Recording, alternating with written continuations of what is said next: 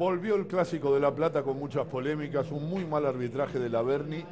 y una victoria que primero le sonrió a Gimnasia cuando no había hecho tantos méritos el gol de Eric Correa.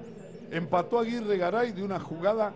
que la Berni interpretó que era mano de un jugador intencional de oreja de Gimnasia y lo expulsó porque ya tenía una amarilla. De ese tiro libre, un rebote, Carrillo al medio, gol de Aguirre Garay uno a uno.